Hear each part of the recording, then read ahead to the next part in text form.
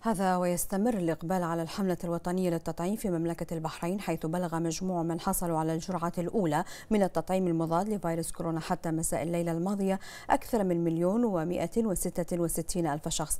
فيما تجاوز عدد الحاصلين على الجرعة الثانية من التطعيم مليونا ومائة وأربعة وعشرين ألف شخص. هذا وقد تلقى الجرعة المنشطة من التطعيم أكثر من 332 ألف شخص.